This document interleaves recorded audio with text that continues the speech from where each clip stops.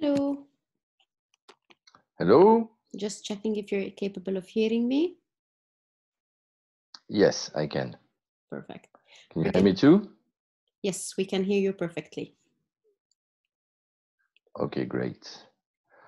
Uh, so I'm trying to open the chat box uh, here. Uh, uh, okay, but you would see it if I do that. Uh, I just want to make sure if we can share your screen. yes, uh, uh, just a minute.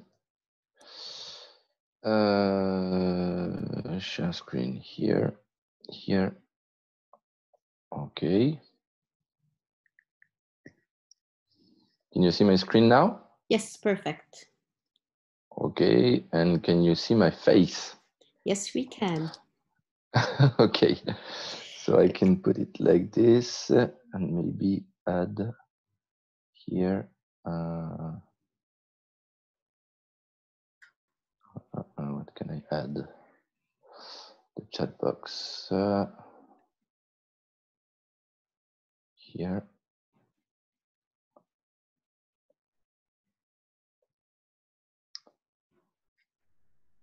So I- have the chat box as well, so I can answer Perfect. questions if necessary. Okay. So I don't I don't have to share the image of my face on the on the video. You have it. it's up to you completely. If you would like to keep it, we don't have. We yeah, it, we have it. Yes, yes. Uh, I, je viens de Okay.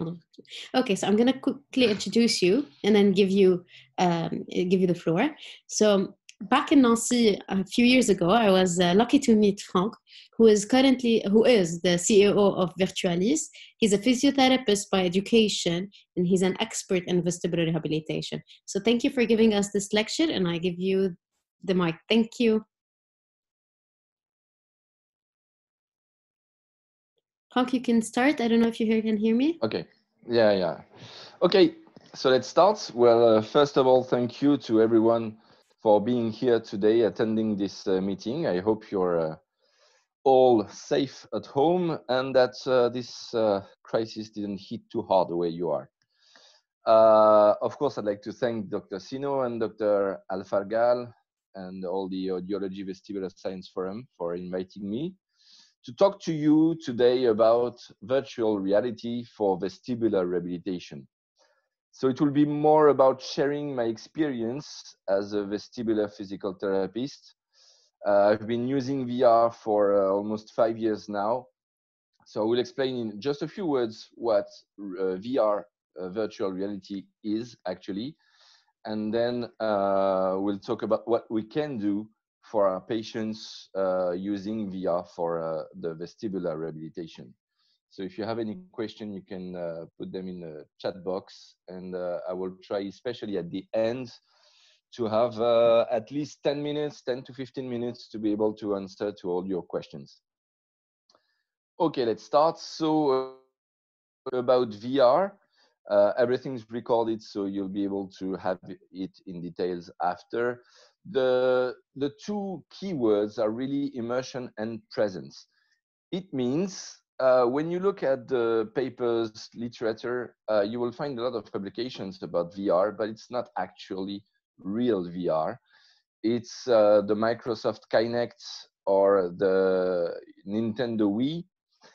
In VR, you need to feel that you're yourself, you are in the environment and you are interacting with the environment. Uh, with the Kinect or the, the Wii balance board, you see an avatar reproducing your movements. So it's not really VR, it's feedback. It's a different technology. Uh, it uses more the mirror image of you see yourself doing something as an avatar. In VR, you actually feel you're in the environment and you're moving, acting, and looking at what's uh, happening around you. So there are two different technologies for actual VR. The Cave, as you see, it's a little bit difficult to bring that to your everyday practice. So let's skip. And now we have head-mounted displays, such as this one, but there's a lot of different uh, HMD now uh, on the market. So now why should we use VR for vestibular rehabilitation? First of all, in everyday practice, are we really talking about vestibular rehabilitation or multisensory rehabilitation? In my experience, in my practice, I had just a few patients having an actual vestibular condition. Uh, BPPV, of course, you see them a lot, but you don't see them for a lot of sessions, usually two, three sessions. So it's not my everyday everyday patients. Uh, you have a few neuronitis, uh, but not that much, and uh, Meniere's disease as well, but not that much again. Usually, most of the patients uh, we have in our practices are about visual dependence, visually induced vertigo, my, vestibular migraine, PPPD, motion intolerance, motion sickness, sensory disorganization, uh, dizziness, risk of falls, unsteadiness, fear of heights, uh, motorist disorientation syndrome, patients who can't drive on the highway anymore, spatial disorientation, feeling uncomfortable in a crowd in a supermarket. So that was most of my patients had a absolutely normal uh, vestibular assessment, but still felt dizzy uh, or unsteady or all that kind of symptoms. So it's more about multisensory rehabilitation, really. And VR allows many sensory stimulations, minimizing, of course, the installation constraints. It means you don't need a lot to have a lot of space. Uh, a large room, just two meters and two meters are really enough. You can control the environment. You don't have to have a dark room for optokinetics or a subjective visual vertical. You can use everywhere you want in your practice. So it really changes the life of the vestibular PT to be able to work with really good conditions anywhere. So we have stimulations, vestibular stimulations, of course, with the head movements. We have audio, we have proprioceptions, vision, and we can create almost real movements. Uh, gait, of course, you can make the patient walk and have multitasks.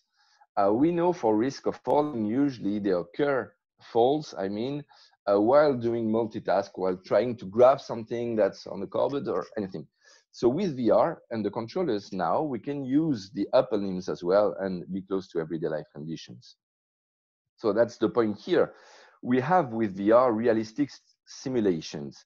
It means the transposition into everyday life will be better of course, if you are very close to what the patient complains about, like being in a supermarket, if you just project white dots, like with a disco ball, the optokinetics, on a dark wall, will it work as well as if you put the patient in an actual virtual supermarket with the, the sound, with people, with the products to grab to put in, the, in your basket? So we believe and there are proofs now showing that the more realistic the more the closer you are while uh, rehabilitating your patients the better it will transpose to everyday life. That's the key thing about vr so for example crowd supermarket street subway escalator.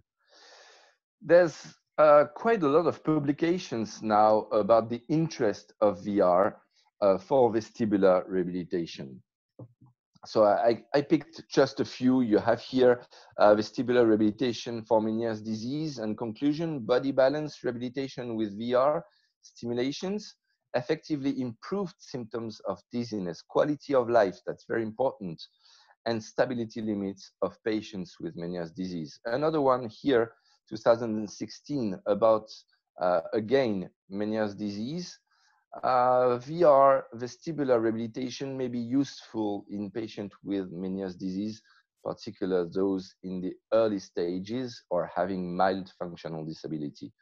Another white paper about VR by, Sue Whitney. I'm sure you know about her. Uh, conclusion, VR is a promising treatment modality for persons with vestibular disorders.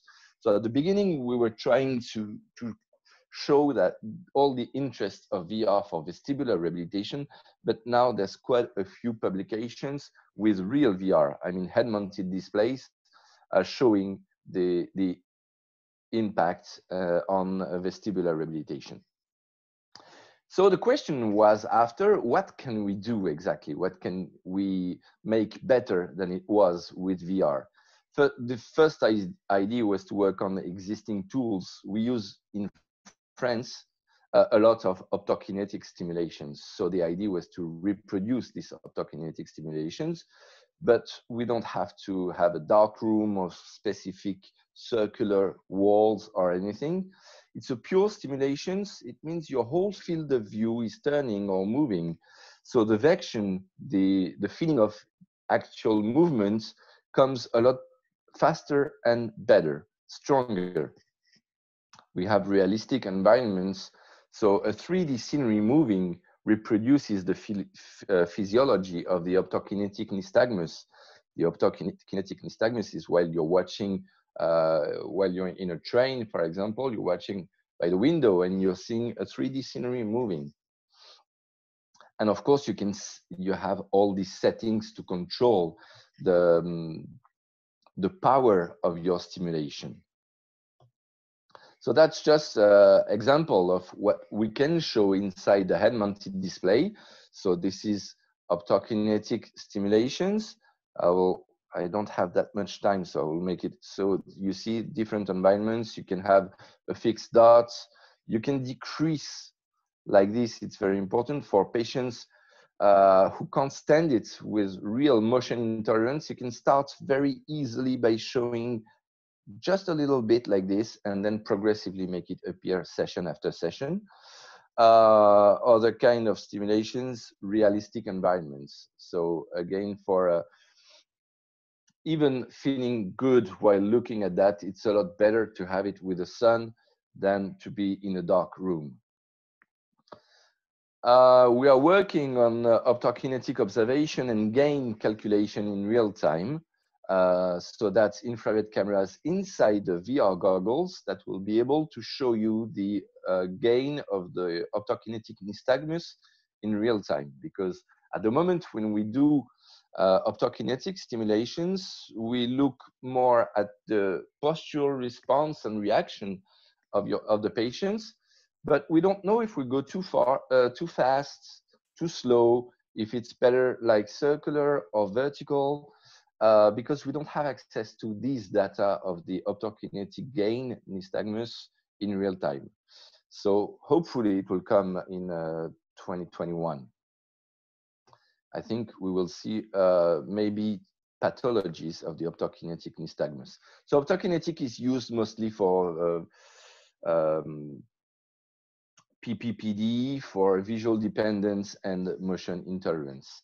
So the other idea, uh, enhancing existing tools, was to bring the patient in optimum conditions for all the examinations we can do, such as uh, SVV, the subjective visual vertical, and rod and frame test, and the CTSIB, the CATSIB, for visual dependence measure.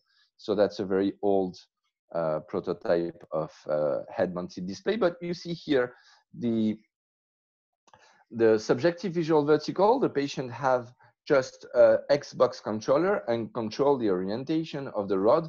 But you can see on the lower left corner here, we have as well the orientation of the head of the patient. So we can measure the orientation of his perception of verticality, but also the way he puts his head.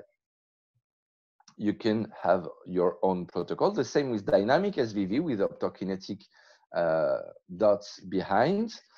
For assessments, rod and frame test. So this is the original rod and frame test. The head of the patient is supposed to be here with the chin here. So you see you have actually your head inside a cube one meter long with all 3D and all your field of view is tilted 18 degrees on the left and you have to orientate the, the bar. It's a measure for the field dependence. It's a kind of static uh, visual dependence. So it became just a square on it on a monitor screen. It's very different to having the whole the whole field of view tilted.